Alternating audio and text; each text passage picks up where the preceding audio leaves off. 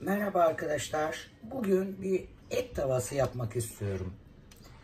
Ee, kuşbaşı etim var. Ee, 750 gram kadar. Ve e, benim yeni yaptığım videomu izlerseniz e, domates, kapya biberli sosum var. Bu muhteşem bir sos oldu. Kapya biber ve e, yeşil biber de olduğu için zaten ayrıyeten biber kullanmayacağım.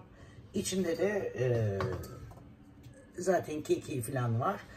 O videomu mutlaka izleyin ve bu sosu yapın.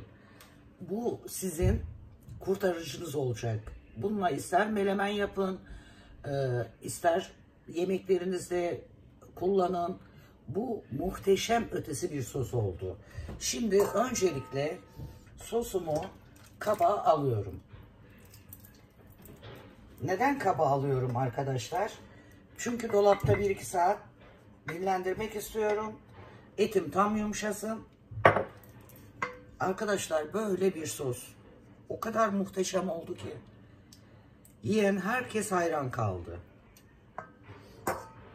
Evet şimdi buna tuz ilave ediyorum.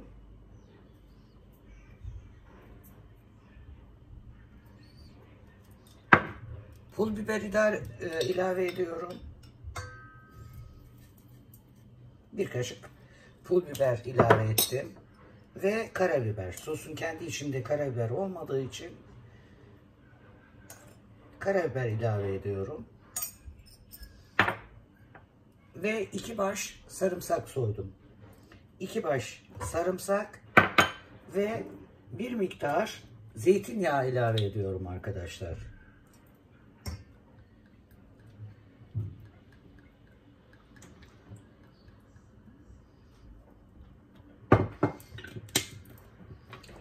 Etimde kıyılmış kuyruk yağı da var arkadaşlar.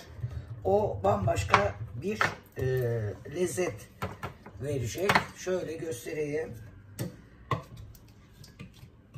Bu karışım muhteşem bir karışım arkadaşlar.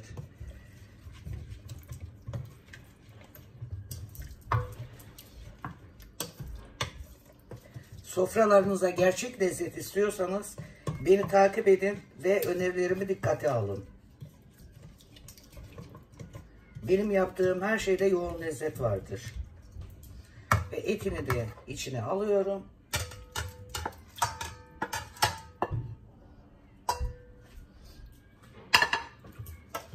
Şimdi bu yoğun sosla 1-2 saat dolapta bekletmek istiyorum. 200 derecede en az 30 dakika pişer bu.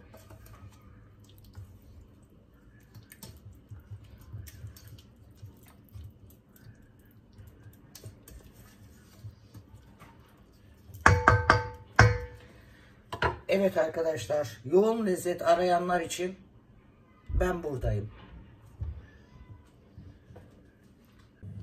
Evet arkadaşlar, 30 dakikada benim et tavam pişti ve fırını kapatıyorum.